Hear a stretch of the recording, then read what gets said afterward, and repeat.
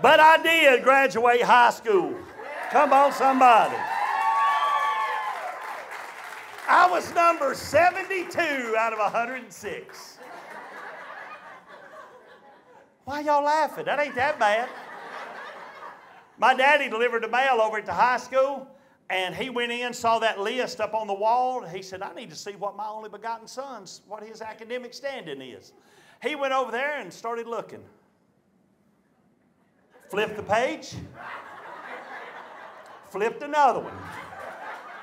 Got down there to the meat of it, about number 72 out of 106. And at dinner that night, we sat down. We had our dinner like we used to back in the day. And he said, Sue, guess what you boys ranked over at school? Well, Sue knew immediately it wasn't good. Number one, because it was me we were talking about. And number two, I was her son. If I'd been their son or his boy, it was going to be something good. She says, I don't know, Lynn. What is it? He goes, Brace yourself.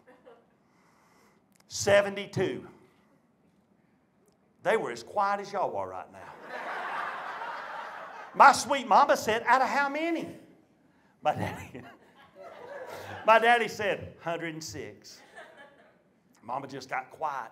And I said, Hey, that ain't that bad. That's about half.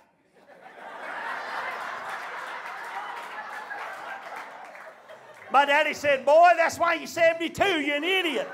That ain't nowhere close to half of 106. He goes, Why don't you hang around with people got some sense? I said, well, We don't have a lot in common.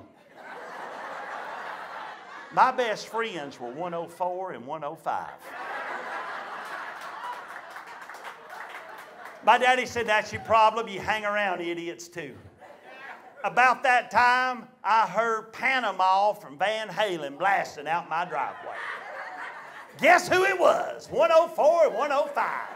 Coming to pick up the brain trust, 72. We headed out to Brainerd Road to do some studying. My daddy said, You boys come in. 104 said, Okay, Mr. Brock. 105 was driving a nice, pristine, red, cherry red vet. A Chevette. Google it, kids. Now, he had all the Corvette logos and stickers put on it, but it was a Chevette. And he said, Brock, if I let off the clutch, it ain't going to start back. I got to just wait on him.